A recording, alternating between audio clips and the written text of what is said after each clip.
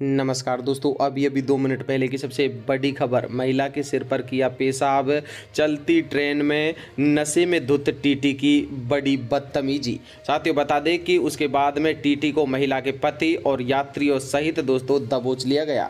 घटना दोस्तों, बता दें कि यहाँ अमृतसर से कोलकाता जा रही अकाल तख्त एक्सप्रेस में एक शर्मनाक घटना घटी है। ट्रेन में मौजूद टीटी ने एक महिला के सिर पर पेशाब कर दिया। महिला के शोर मचाने पर उसके पति व वहाँ मौजूद दूसरे यात्रियों ने टीटी को दबोच लिया चार बाग स्टेशन पर जीआरपी को सौंप दिया। जानकारी के अनुसार जीआरपी ने इस शर्मनाक घटना को अंजाम देने वाले टीटी को अरेस्ट करके जेल भेज दिया है। घटना के समय टीटी शराब के नस में धुत था।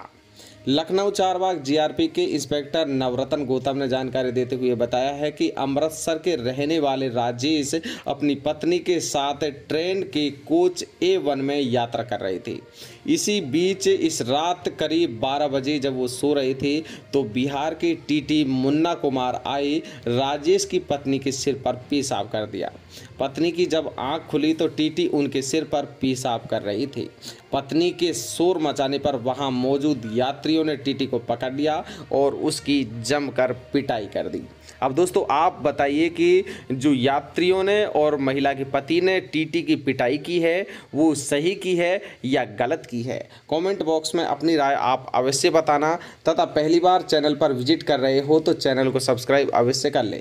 पूछताछ में लोगों ने बताया कि घटना के समय टीटी शराब के नशे में बुरी तरह से धुत था।